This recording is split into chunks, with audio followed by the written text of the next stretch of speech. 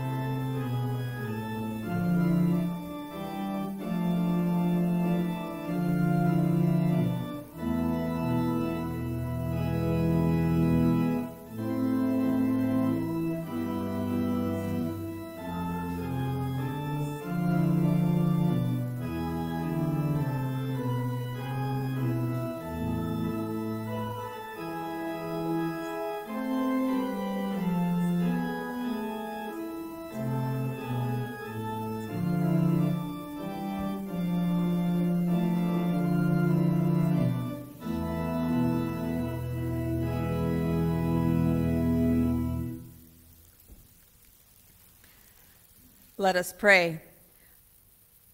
Blessed are you, God of hosts, for you promised to send a son, Emmanuel, who brought your, pres- brought your presence among us, and you promised through your son Jesus to save us from our sin. As we have lit the fourth candle, turn us again in your mercy. Strengthen our faith in the words spoken by your prophets. Restore us and give us life that we may be saved. O house of David, come. Help us rejoice, for the Son of God, Emmanuel, comes to be with us. Amen. I invite those who are able to stand as we join together in the order of confession and forgiveness.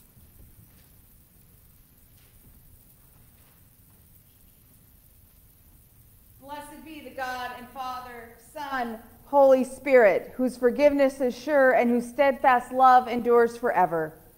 Amen.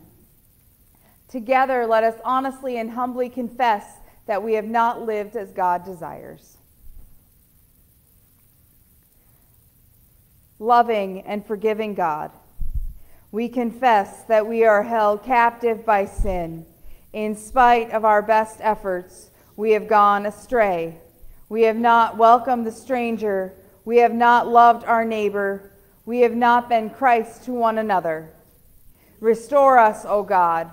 Wake us up and turn us for our sin. Renew us each day in the light of Christ. Amen. People of God, hear the good news. By God's endless grace, your sins are forgiven and you are free.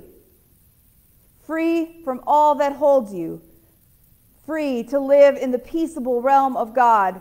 May you be strengthened in God's love, comforted by Christ's peace, and accompanied with the power of the Holy Spirit. Amen. Our hymn is People Look East, number 248 in the hymnal.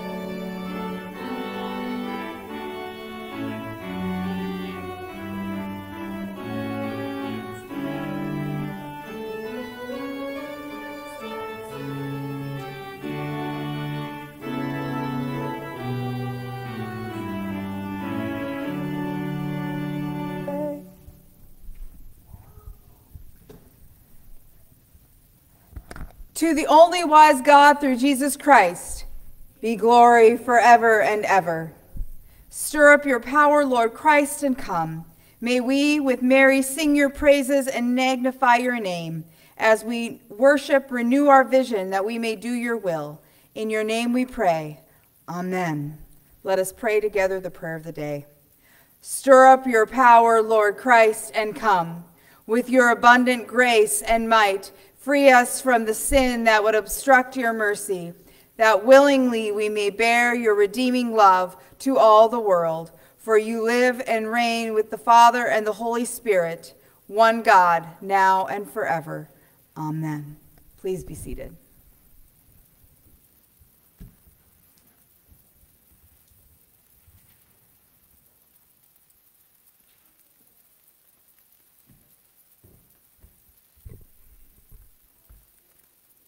First reading this morning is from 2 Samuel chapter 7.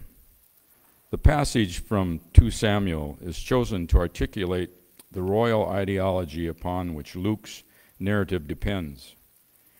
Christians see Jesus Christ as the chosen king in the house of God who embodies God's presence on earth. Now, when the king was settled in his house and the Lord had given him rest from all his enemies around him, the king said to the prophet Nathan, See now, I am living in a house of cedar, but the ark of God stays in a tent. Nathan said to the king, Go, do all that you have in mind, for the Lord is with you. But that night the word of the Lord came to Nathan Go and tell my servant David, Thus says the Lord, Are you the one to build me a house to live in? I have not lived in a house since the day I, I brought up the people of Israel from Egypt to this day, but I have been moving about in a tent and tabernacle. Wherever I have moved about among all the people of Israel, did I ever speak a word with any of the tribal leaders of Israel, whom I commanded to shepherd my people Israel, saying, Why have you not built me a house of cedar? Now therefore, thus you shall say to my servant David, Thus says the Lord of hosts I took you from the pasture, from following the sheep, to be prince over my people Israel. And I have been with you wherever you went, and have cut off all your enemies from before you. And I will make you a great name, like the name of the great ones of the earth. And I will appoint a place for my people Israel, and will plant them so that they may live in their own place and be disturbed no more. And the evildoers shall afflict them no more, as formerly, from the time that I appointed judges over my people Israel. And I will give you rest from all your enemies. Moreover, the Lord declares to you that the Lord will make you a house. Your house and your kingdom shall be made sure forever before me. Your throne shall be established forever. The psalm this morning is from Luke, the first chapter, which we'll read responsively. My soul proclaims the greatness of the Lord. My spirit rejoices in God, my Savior.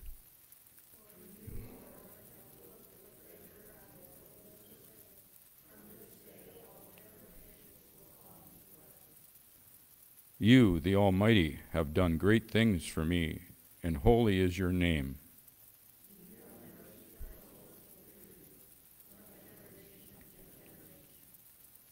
You have shown strength with your arm and scattered the proud in their conceit.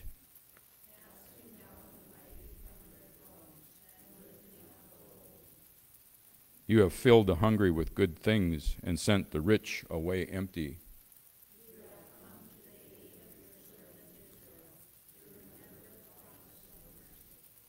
The promise made to our forebears, to Abraham and his children forever.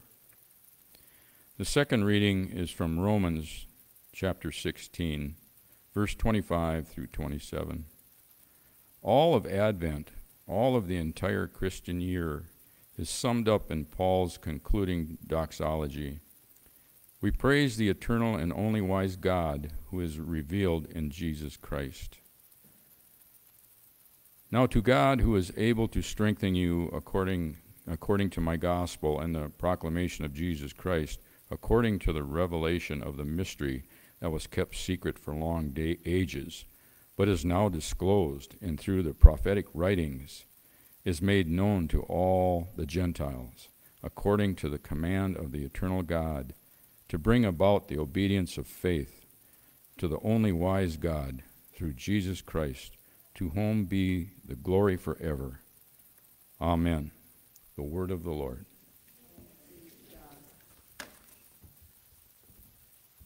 Please stand for the reading of the Holy Gospel.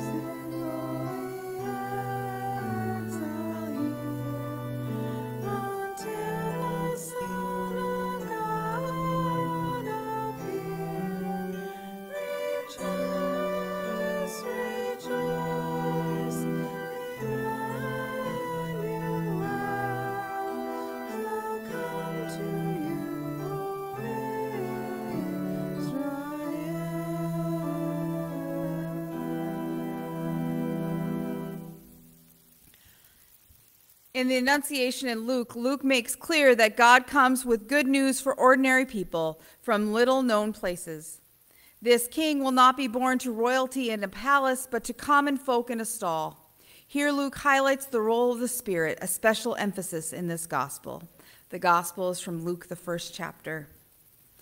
In the sixth month, the angel Gabriel was sent by God to a town in Galilee called Nazareth, to a virgin engaged to a man whose name was Joseph of the house of David.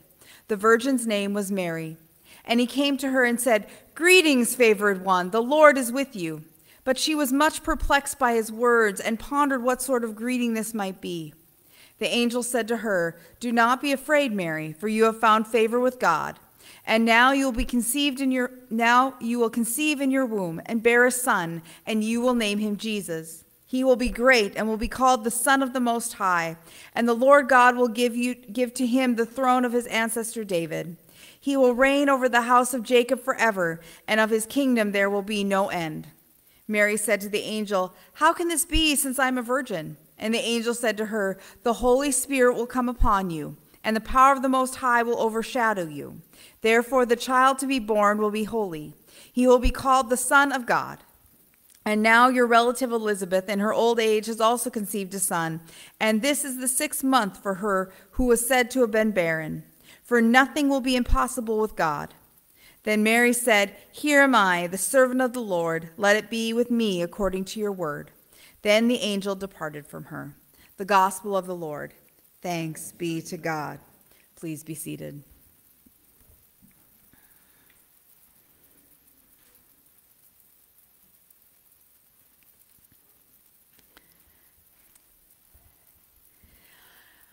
I always think this gospel lesson sounds so poetic and pretty. There's something about the way they say that the angel says, Greetings, favored one, the Lord is with you. And she's much perplexed by his words and pondered what sort of greeting this may be. That's lovely, it's beautiful, it's poetic. I think it's not correct. I think this is a bit of revisionist history because the truth is, is if any of us had an angel pop up in the room with us, we would not be perplexed. We would be absolutely terrified. The truth is is I think all of us would say first to ourselves, "Oh no, what have I done?" Isn't that a little bit how we are? I mean, in some ways the angel feels like mom showing up when you least expect it. This idea that I have been caught. It says Mary is much perplexed. And I think Mary is probably absolutely terrified. And then the angel says, Greetings, favored one, the Lord is with you. And I think Mary is still terrified, and then she gets perplexed. Because I think at that point, she's going, I think you have the wrong house. I'm a young girl. I'm a nobody in a town in Galilee. I live in Nazareth. If, the, if God has sent a messenger, Lord, I really, really think, angel, that you got the wrong house. You scared me, and now I'm really scared because you say I am favored. And the truth is is I think that's how all of our callings with God kind of go. Is there's this idea of God isn't going to use me because I'm just me. I am just me. And if the angel Gabriel were to show up we would be perplexed and terrified and go, You can't be looking for me. But the angel says, Do not be afraid. Too late. But I'll do my best. I won't be afraid. And this is where Mary starts to ask questions. Okay? You are going to have a son. And she says, uh, No, no, no. I know how science works on this one. That isn't supposed to happen yet. And she starts to ask questions of God. And I love this idea of the call story because here's the thing we sometimes think that if God is calling us, we're just to just go forward and it's supposed to be just fine and we're supposed to listen and just do what we're told. And if Mary, this young girl in Nazareth, can start asking questions, I think it gives all of us permissions to say to God, What's up? I don't know what you have in store for me. I don't know if I'm the right person for the job. There's so many reasons this can't work. And there we have, there we have the angel saying, Nope, right place, right time. God has decided that the Holy Spirit will come upon you and you will bear a child. Now, what they don't mention in this story is I am pretty sure that this was way more scary than when the angels showed up. That moment when you realize, I'm going to be a parent. Way more terrifying than having God show up in this story. And Mary says, Here I am, the servant of the Lord. Let it be with me according to your word. And those are words of pure faith. Acknowledging before this that nothing is impossible with God. And then Mary saying, Here I am. She's scared, she questions, but in the end, God is calling her to something greater than herself. And even though she doesn't know what that means yet, all she can do is say, Here I am. Here I am. And that is really what the calling for each and every one of us is that we can ask questions, we can be afraid, we can go through all the moments, but eventually to look at God and say, Here I am. Yeah, I still think you might have the wrong person, but I'm going to follow. And this is actually part of the calling of Christmas as well, reminding us that God shows up in the most unexpected ways, in the most unexpected people and they say, Here I am. And that the shepherds will be announced and they follow because they say, Okay, this is where God is sending us. And for each and every one of us, all year long, we are called to follow where Christ leads. We can be scared. We can question. We can even think that God has chosen the wrong person. But God has called each and every one of you to love your neighbor as you love yourself. Christ has called each and every one of you to worship and then go forth from worshiping, sharing that love of others with a world in need. Here we are, servants of the Lord. Let it be with us according to God's word. Amen.